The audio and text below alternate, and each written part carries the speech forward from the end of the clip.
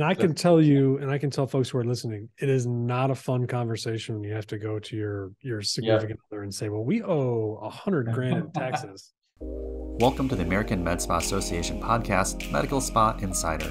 This week, AmSpa founder Alex Thiersch is speaking with Nick Liguori from the firm Liguori Accounting. Okay, welcome everybody we're doing this like video now which is like this new highfalutin thing for us at amspa um, but alex thiersch here medical spa insider um, the podcast of the american med spa association. We talk to business owners and professionals across the spectrum about what they do what makes them tick and how they can help you as uh, med spa providers Today, we are very lucky to have on the AmSpa hotline, which is now a video hotline, which is still going to take some getting used to. Uh, we're on YouTube now. We're going to be, you're going to be famous, Nick. So get ready. Uh, Nick Liguori of Liguori Accounting. Um, we have an accountant on board here at AmSpa now who, believe it or not, Nick, and this is the truth, we have been talking to folks about different accountants about getting um, an actual accountant on to become part of the AmSpa team and be part be, be a vendor. And we've had a lot of difficulty. So you are one of the first who has take, t- but it's a super important um, piece of what we all do. We we we certainly have we've had some you know some financial folks and things like that, but to have an actual accountant be involved in AmSpa, taking care of AmSpa members is very exciting. Thank you so much how are you doing? What's the latest? Yeah, doing great. Thanks, Alex. I Appreciate you having me on. And uh, yeah, this is going to be an exciting one. Accounting. I mean, everyone's going to buckle up. We're uh, we're ready to roll here. We're um, yeah, we're really excited to be part of AmSpa. Um, we've had a great experience so far. I think it's um, there's a big need there for accounting, bookkeeping, tax services in this space. Um, it's booming. It's a big growing industry. So uh, there's yeah. a lot of compliance issues to to keep track of. So we're we're ready to help. We're happy to help. Um, now you're talking our language, compliance. Um, yeah, right. so so um, talk to me a little bit about like um, you know, obviously we've got all sorts of different types of resources that we offer through AmSpa. What drew you to aesthetics? And and and I think you know you're you're one of the certainly one of the only, if not the only, accounting firm who's who's who's become a, a vendor. And there's a huge need for that. But what drew you to aesthetics and and med spas in particularly? And what do you hope to offer um, that you think is, is is needed? Yeah, so it was um, really organically that we found ourselves in this space. Um, so just a little background about Liguori Accounting to give a little perspective. Um, we're based out of Exeter, New Hampshire, so we're on the East Coast. Um, and I started the business actually right right before COVID started. So um, it, we've seen a lot of growth over a few a short amount of time here.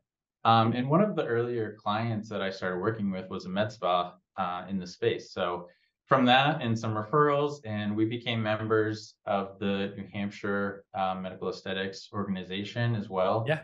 Um, so just getting more involved in the space. Uh, we've had really great.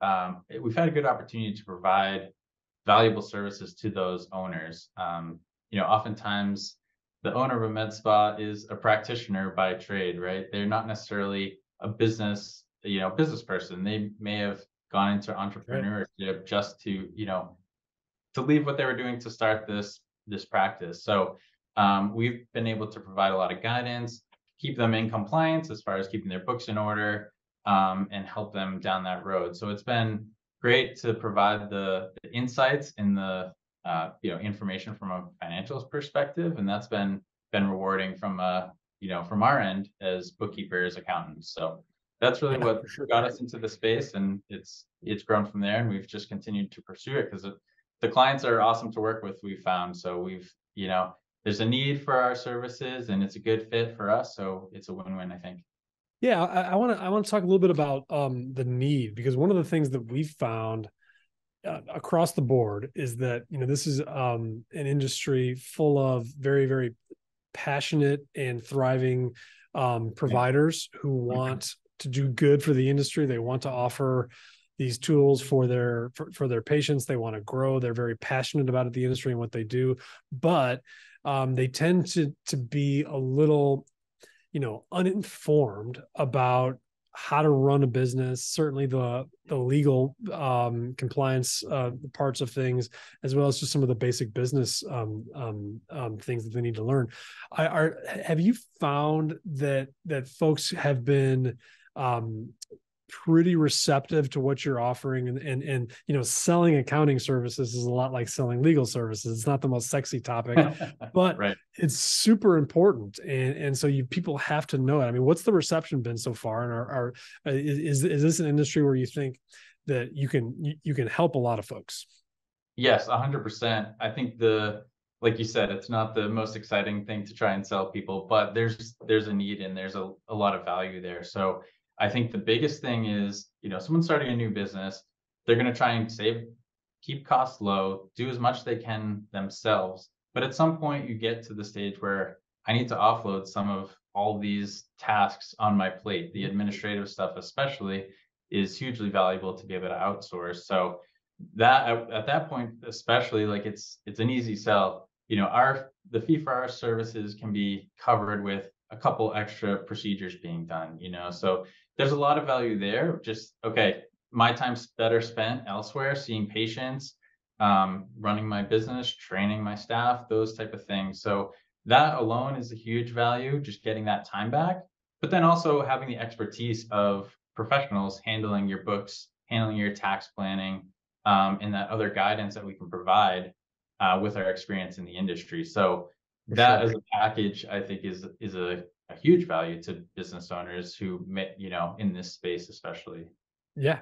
So um one of the the the key questions that I had to learn as a business owner a long time ago, and I and I know there are folks who struggle with this or have questions about this um, as they go is is a, a, lot of times they will hire a um, an accountant um, or a bookkeeper, and they they want certain things like advice on how on financial advice financial planning things like that. And and there's a difference between what a bookkeeper does what an accountant does and kind of what a like a like a chief financial officer does right? Um, right. talk about some of that like what like what services you offer and and, and how they fit into the grand scheme of things. Because i've found that people people don't necessarily know what a bookkeeper does versus what an accountant does versus what you know an advisor does Right. I think every, people often think accounting, bookkeeping, and tax are all the same thing, and they're really not. There's a lot of there's some nuance there, but there's some separate steps there. So we'll start with bookkeeping. Bookkeeping is really recording what has happened. So that's making sure you're tracking all money coming in, money going out, categorizing things properly, make sure your finances are in order, essentially. So that's the big thing with bookkeeping. It's looking at the past. I think that's a good way to think of it. Is so tracking what's happened in the past, um, and then CFO or advisory services are are more looking at the future. So looking at what's happened, but then how does that impact our future going forward? So the CFO services are more okay. We have we have a business. We have goals. You started this business for a reason, whether it's financial or growing it to you know multi locations or expanding whatever it may be you have goals as a business owner and you need to your finances need to be tracking that in order to reach those goals. So you build off of the bookkeeping component. That's you know the important thing is keeping that up to date. And then the cfo is looking forward based on where we are today what our numbers look like today.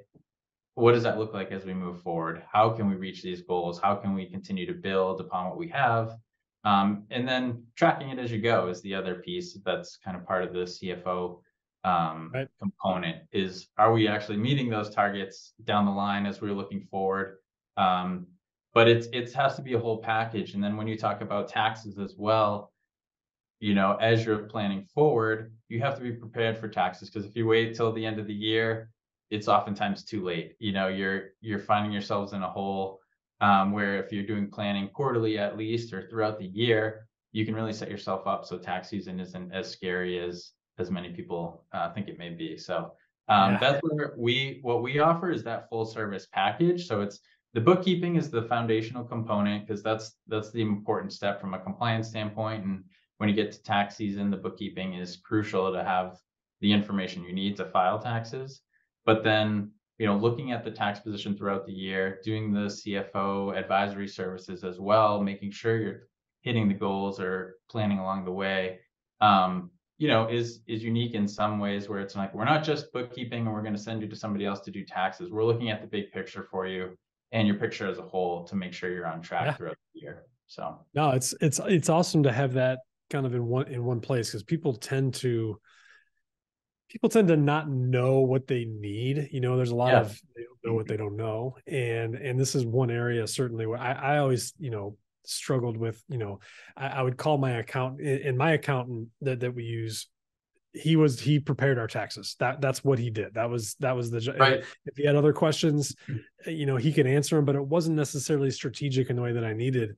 Whereas it took me a while to find somebody okay well we need we need different people for different for different things. What's the biggest need as far as you can tell from from folks in this industry? If there's one more than others like what, what's what's what strikes you as as where people are lacking in this industry yeah, the biggest thing I think really is the the tax planning component and you know getting ahead of that. Um, it's one of those things if you're not planning for it throughout the year, um, the the growth we see with some of the especially newer med spas where it's like from year one to two and then two to three or you know three to five like that growth happens so quickly and you're going from you know a modest amount of income maybe in the business to it getting pretty significant quickly and if you're not planning from a tax standpoint during that growth phase, you're going to get hit with a big tax bill come the end of the year. And it's going to be, okay, now we're playing catch up to, you know, get to have the cash flow to, to pay that bill. And then you're in a cycle of playing catch up on paying your taxes. So the biggest mistake I think is not paying quarterly taxes when you need to be as a business owner. Yeah. Um, and just not planning throughout the year for that tax bill that's coming at the end. So, um, you know, the goal is to to be paying taxes. You want to have a profitable business, and um, you know the the effect of that is taxes at the end. But you know we obviously yeah. try and mitigate that best you can. But you know you want you want to be profitable. You want to be successful. So it's the big thing is just planning for that. And um, same thing with newer biz newer spas or newer businesses in general. Um, the switch from being a W two employee and having taxes withheld throughout the year, then having to do that on your own and pay quarterly taxes or pay tax yeah. at the end of the year. That's where you, where people get trapped most common, I would say. Now, I I remember I still remember to this day. Um, and gosh, this this my my wife should be here talking about this too because she remembers it as well. but like there is a there there is a time as a business owner when I mean the numbers start getting bigger, right? So you're talking about multiples of of, of what you're looking at before. Um, yeah. and there's this there's there the the tax planning aspect of it um, becomes important when you get things like phantom income, right? Or um, or or you know carry you know income that carries over to the next year. And I still remember this very day we got to a point where we were trying to plan and we were doing our best with our accountant and planning paying quarterly taxes and all that but we got to the end and like yeah you know you there, there's a $85000 tax bill due and you know at some point as you grow and you get bigger you start to to plan and have backup things and be able to figure that out but the first yeah. few times it's terrifying because right. you're like, I'm sorry, you said how much?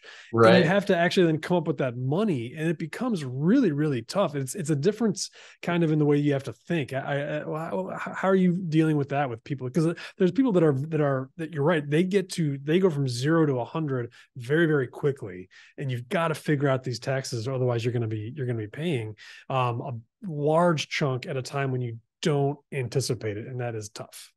Right. And and there is obviously some seasonality in this industry too. Yeah. So making sure you're planning for that too, where it's like, okay, the year can be going fine, on track with kind of what you were expecting through the summer, and then the fall ends up being great. And then you have this big profit that happened those last few months of the year. And now how do we plan for that or adjust for that? So um yeah that's the big thing it's like being ready for it and staying on top of it I, ideally we work with our clients and we're doing tax planning on a quarterly basis I mean, some clients we're just doing bookkeeping for, but others were doing that, you know, planning throughout the year. And that's our ideal scenario is we're meeting with you quarterly. So you're staying on top of that all year long um, to make sure we're paying in enough and staying on staying ahead of the game because you can get into a cycle where it's like like you said you get this surprise tax bill now i have to come up with the money and then now i can't pay my estimates for next year so then this cycle gets you know perpetuated um, and it, it's hard to get out of it until you know you have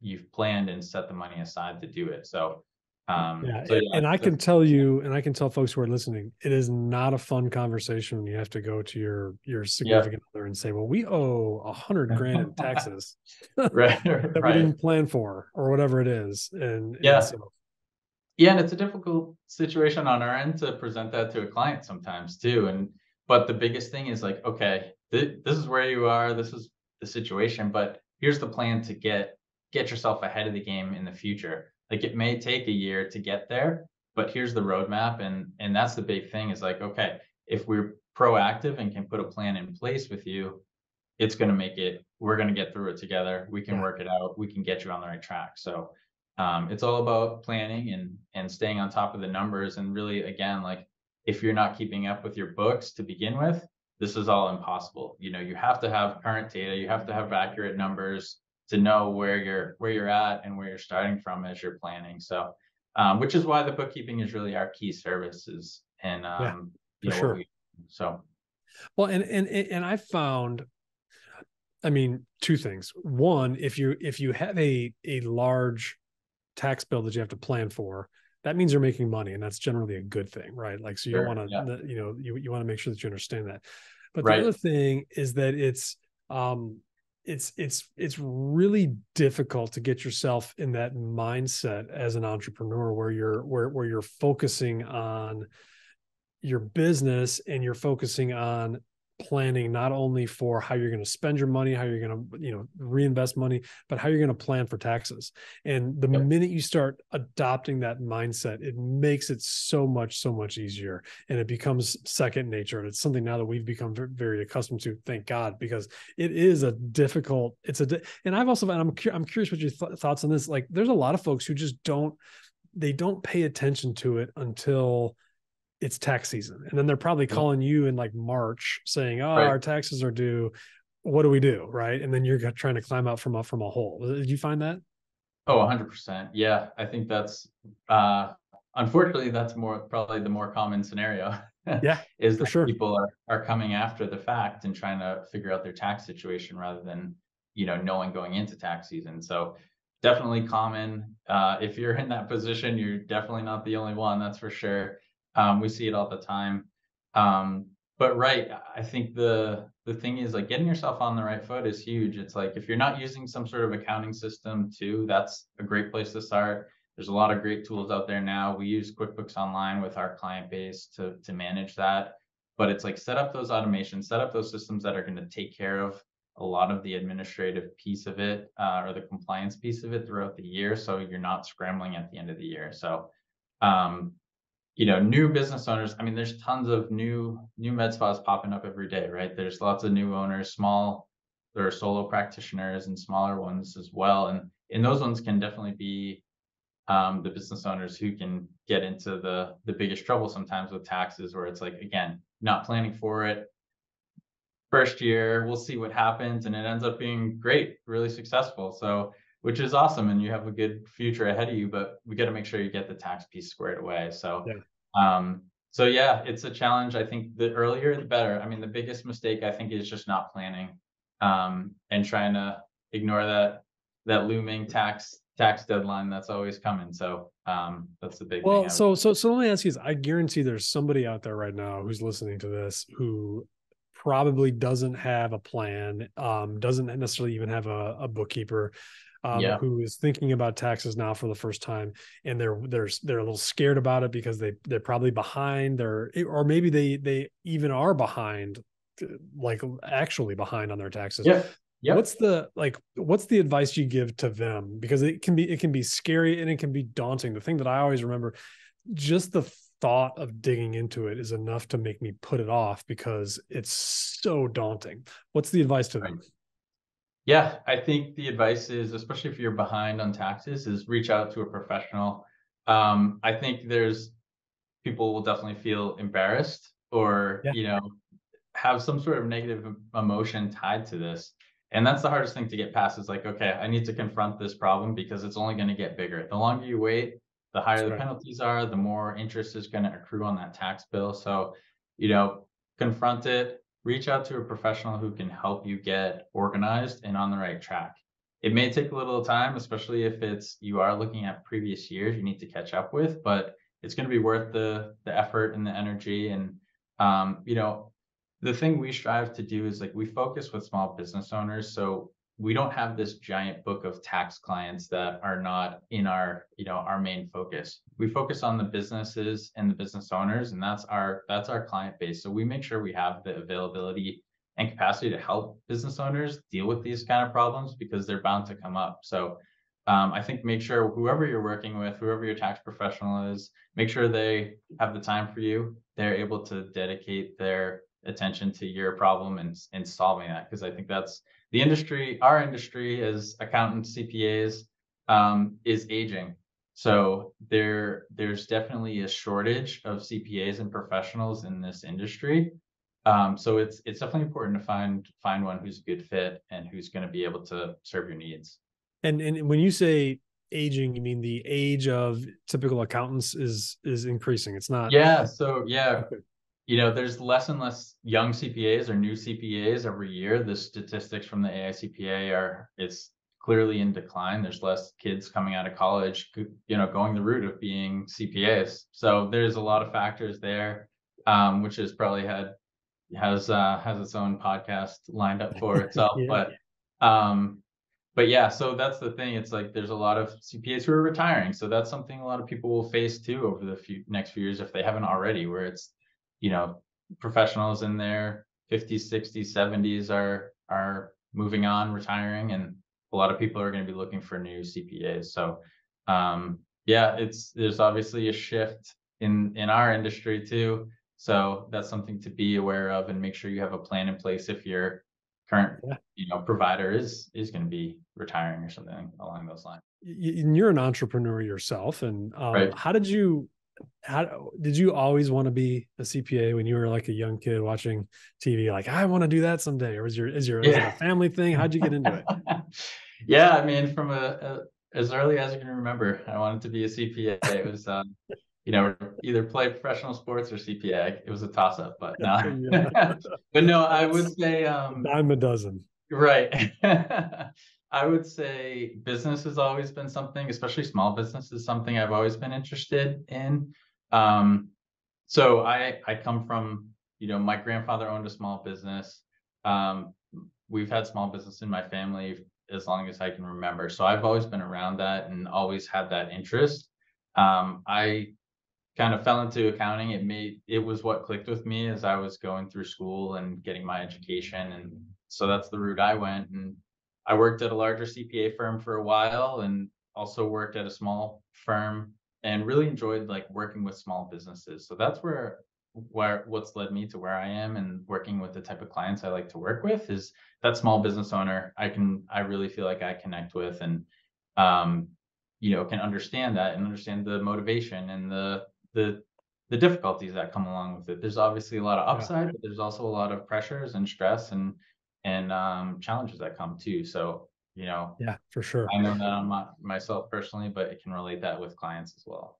Well, so. and you know the the the the other thing in in in you said that there's you know the the age of accountants is is increasing and the the the plain fact of the matter is, is that there's not enough accountants who deal with medical aesthetics and some of the unique issues that we have. We, we, we talk all the time to business owners whether you're getting into you know whether it's a some sort of a management services um, yeah. uh, account. Uh, you've got you've got multiple businesses. You've got different states. Um, and, and it's really difficult for sometimes for these bookkeepers and these accountants to be able to track the flow of money and be able to figure out where it's all supposed to go. Um, right. And it's it's you need somebody who kind of knows the industry. Talk about kind of some of the unique things about this industry and how you've been able to deal with them over time. Yeah, right. There definitely are a lot of unique factors and compliance um, issues to deal with and make sure you're handling appropriately. Um, so yeah, with the MSO model, especially, is one that can easily be um, muddled up a little bit. And yeah, um, you know, on the bookkeeping end, especially, there's you have two distinct entities there, and the ownership usually is is structured differently. So it's um, you know, we recommend that you have two separate books for those entities in all cases. um, I think people obviously can run into trouble trying to do this themselves and trying to Mm-hmm. pull it all together in one, you know, QuickBooks account or whatever software you're using. Um, and it's really important to make sure you're following that MSA agreement and you have that distinct separation from both a legal standpoint, a tax standpoint, just compliance in general. So um, that's something we can help navigate. We're familiar with that. So that's where we, um, you know, being understanding the industry uh, can bring some value too to just, you know, someone who isn't familiar. Um, yeah, because there's a lot of complexities, never mind just the different state to state issues, like you said, where we're in New Hampshire, which is one of the most probably lenient states as far as um, corporate practice of medicine goes. But we know there's obviously there's plenty of states throughout the country where there's um, all different ranges of compliance. So understanding that and knowing what you're dealing with, where you're established, is important too. Yeah, uh, uh, I, I, couldn't agree more. And um, we we always recommend that folks find somebody. I'm glad you guys are doing this because we you know we want to recommend to people they find a bookkeeper, they find an accountant, a professional who is in the industry, who knows the industry, who understands it. And be, because of these kind of you know nuances and idiosyncrasies that we get, um, the, the other thing that I often talk to folks about is is is they tend to be um, nervous about cost and and just kind of you know s- similar with with lawyers uh, the way i always see it and, and i would love for your your thoughts on this is that uh, to me your your accountant and your bookkeeper over time should be saving you money as opposed to actually costing you money. And it's and and Yeah. and part of that comes into play when just giving you know advice on things like you know all the types of ways you can take advantage of being a small business owner and saving money deducting money you know deducting expenses you know running expenses through you know obviously legitimate expenses through your through your business. Um, it's a different mindset. So uh, talk a little bit about that and kind of and how folks try to get their get in the right mindset to be to, to be using the tax laws to their advantage Right. And yeah, that's that's great. I think there is a lot to be said for that. And and being proactive is the big thing. Like if you don't know about it until you, it's after the fact, there's only so much planning you can do. Um, you know, things like even just as simple as timing of when you're purchasing new equipment can make a big difference in your tax bill year to year. So Okay. Um, things like that are are huge. Knowing the deductions you can take and what you can't. I think a lot of times, often people are going to lean on the sides of running more things through their business than they really can or are eligible Right. to. for you know, sure technically speaking. And, you know, preventing that is also helpful. Like if you do run into an audit with the IRS, you want to make sure everything is is up to par and you're not exposing yourself to um, you know, liability there too. So there's definitely some value there. And then with the, the planning side of things that we offer, um, you know, we think there's huge value in if you know where you are now and have a really accurate picture of where you are, it's going to help you reach those goals more efficiently. And make sure you're not overspending in certain things and making sure your metrics are in line with the industry because if there's certain things that are out of out of line like you're leaving money on the table potentially. So um, i think we we can bring a lot of value in those areas as well as you know there's right there's some cost to hiring or outsourcing these services but there's a savings compared to hiring an internal person to handle it too and you have the expertise of a team versus just one person too. So I think there's a lot there um, as well. So right um, awesome. yeah, So, um, God, we've already been going at it for half an hour, which is awesome. I mean, who Yeah. knew that accounting and bookkeeping could be so scintillating? What's uh, what's one thing you um wish kind of all of your clients would would know or would do? Like, what's the one thing that you that you kind of think wish that that kind of was was more well known? And then, um, and you, and you touched upon this a little bit, but but what's the kind of the biggest mistake that that that people make? yeah. I think um, you know one thing that I I think people should know is to just to do tax planning ahead of time would be one. The second big thing is start yourself off on the right foot and use a bookkeeping system of some sort. Even if you're not outsourcing it, don't try and do it in Excel. Don't try and keep a pile of receipts. Spend the $30 a month and get yourself a QuickBooks subscription and start setting that up. Um, I think that's the the easiest, easily the most um, you know, worthwhile investment as you're starting. Um, because it's going to make your life easier. Even if you're not doing things perfectly right off the bat, just having that going and having that record system in place is going to get you off on the right foot. And then if you are working with a professional in the future, they're going to have the tools in place to to make you know get things in line the way they need to be. So um, I think that would be my one biggest mistake I see oftentimes, or a piece of advice would be to start start off on the right foot with the right systems in place. You know, if you're starting your a med spa, like you're going to make sure you have the right um, EMR and all those other pieces in place. Make the financial side just as important. Make sure that stuff is set up correctly. Um, yeah, yeah. advice. That's yep. good advice. And it's it's really one and the same, you know, the the yeah. thing that you want people to do and then the mistake is, is the same. It's it's it is. You know, it is. Yeah. We've, you know, we we touched on this a little bit earlier, but we found that um we try to put out consistent benchmarks and metrics so that folks can, can measure themselves.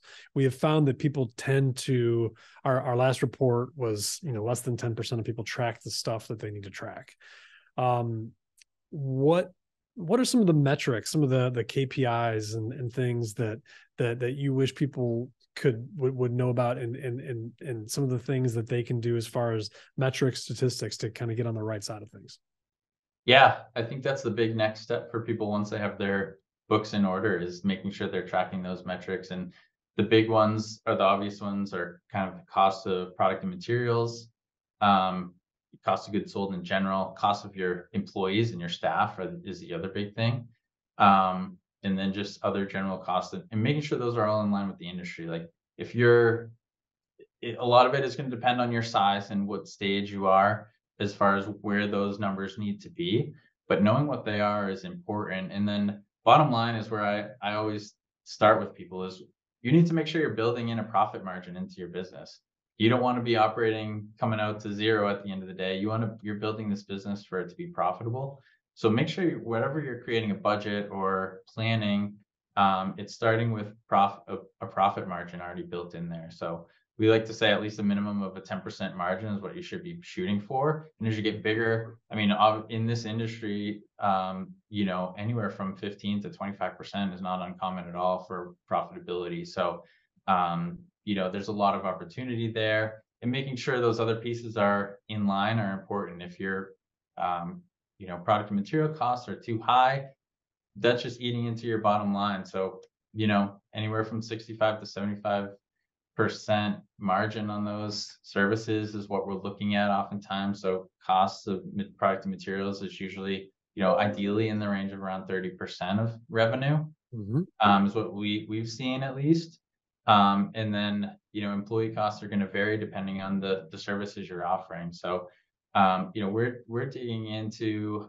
our client base and analyzing some of these metrics and trying to get, you know, it's it's important to see like what your service mix is where where it's the most profitable pieces what's the right mix to of what you're offering your your patients to make sure you're being as profitable as you can. Certain obviously certain services are going to be more profitable than, than others. So knowing right. those numbers for your business and what your costs are is hugely important to to hit those um, you know bottom line metric numbers too. So um, is, is is is there an, an area that you see people tend to overspend on like what's I, I you hear a lot about uh, about personnel and then cost of goods and th- things yeah. like that. But like, what like what is a one spot that's easy to kind of get upside down on, if that makes sense?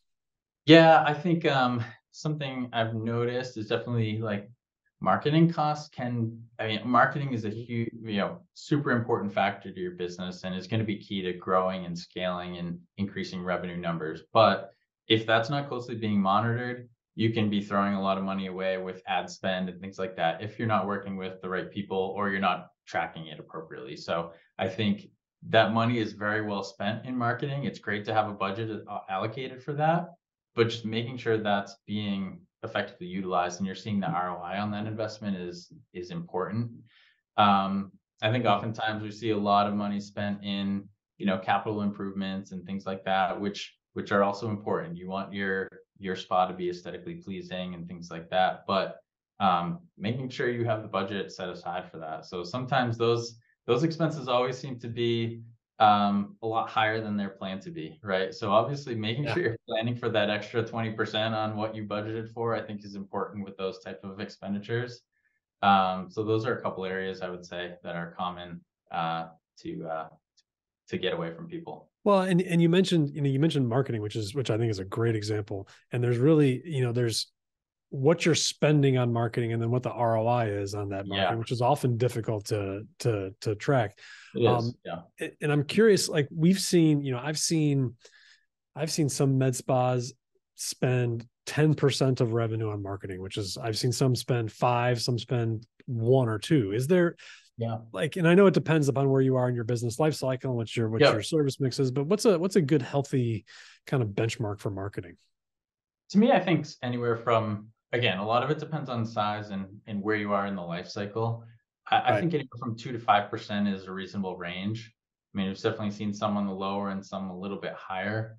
Sure. Um, I would tend to say getting above that can be would be a little high in a lot of cases, unless unless you're seeing really good ROI and your your spend is really effective, then then great, yeah, go for it, and you can absorb the new workload or you know new client load coming in.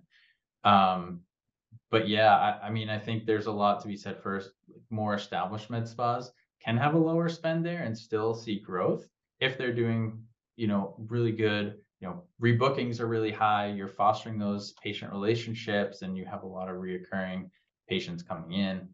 Um, maybe that spend doesn't need to be quite as high. So Yeah. Um, What's but yeah. your what's your favorite KPI, your favorite metric, like the one you have tattooed to your back?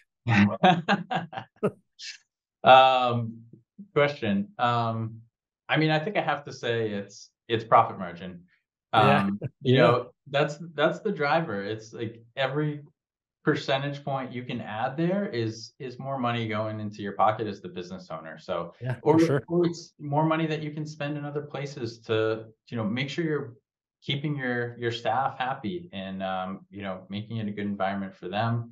Um i mean we all know that's that's been a challenge for all businesses is keeping keeping and retain hiring and retaining staff. So um you know that that margin is hugely important i think that's the that's the number one thing i would say is always the the key to be tracking Uh, you heard it here first. Nick Liguori has profit margin tattooed to his back. That's going to be the name of your first boat. Profit margin.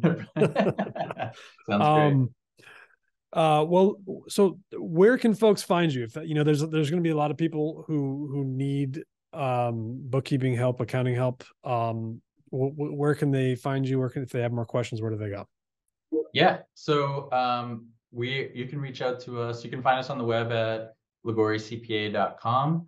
Uh, we're also on LinkedIn and um, you know social media platforms as well. So um, on our website, there's you can contact us directly through there, and you'll you'll uh, be directed right to our team.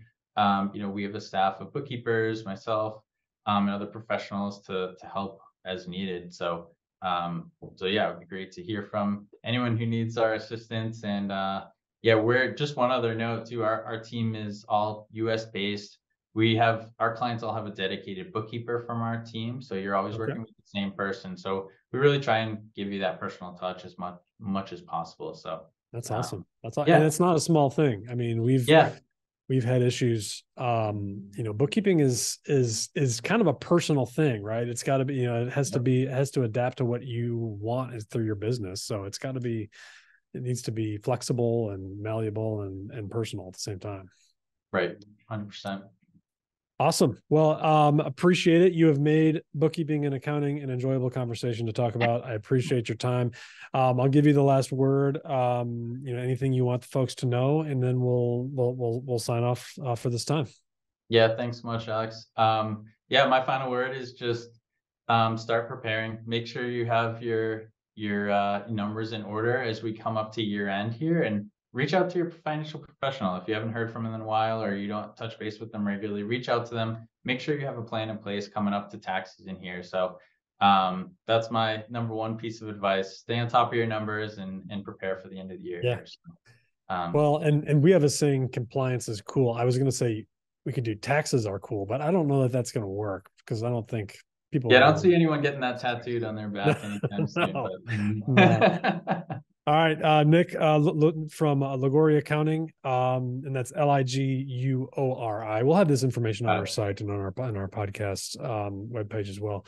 Thanks so much for joining us. I appreciate the the time. Um, what you provide is a well needed service, and especially in this industry. And so I hope hopefully folks will, will reach out to you and get the help they need. Yeah, thanks so much. We're thrilled to be part of AmSpa and uh, looking forward to to the future. Awesome, sounds good. Thanks, man. Appreciate it. Thanks. Take care. Thank you for watching the Medical Spa Insider podcast. Please make sure to subscribe to our channel for future videos and podcasts. For more information about the American Med Spa Association, please check our description below.